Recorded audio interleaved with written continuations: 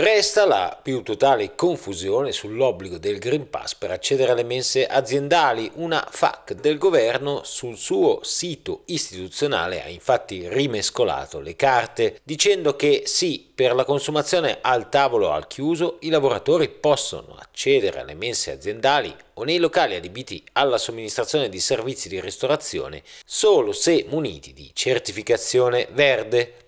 Il governo si allinea così alla posizione di aziende come la Anum System che dopo la minaccia di sciopero dei lavoratori aveva peraltro fatto dietro front, riammettendo al desco anche i non vaccinati. Inaccettabile per i sindacati e chiedono con FIM CISL, FIOM CGL e la WILM che ci sia chiarezza normativa Basta con la confusione generata dalla comunicazione del governo, dicono. Nel mirino proprio la FAC sul sito istituzionale del governo, che però, malgrado gli strali dei sindacati, resta per ora salda al suo posto.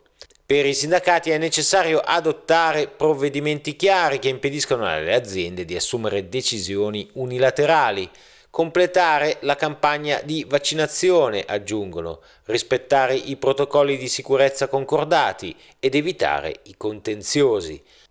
Il governo, chiedono i sindacati, agisca subito prima che la situazione diventi incontrollabile. Sul tema si attendono anche le decisioni della Regione Piemonte che dopo una prima circolare diffusa, seppur in bozza, nella quale si escludeva l'obbligo del Green Pass nelle mense, potrebbe anche ora cambiare idea allineandosi alla FAC del governo.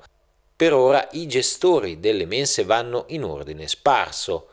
C'è chi promuove un lunch box da consumare all'esterno e chi invece continua a servire pasti senza controllo del Green Pass. Una soluzione potrebbe venire dai comitati aziendali Covid con la proposta di effettuare tamponi rapidi prima dei pasti ai reprobi del Green Pass, ma chi ne sosterrà il costo è tutto da stabilire.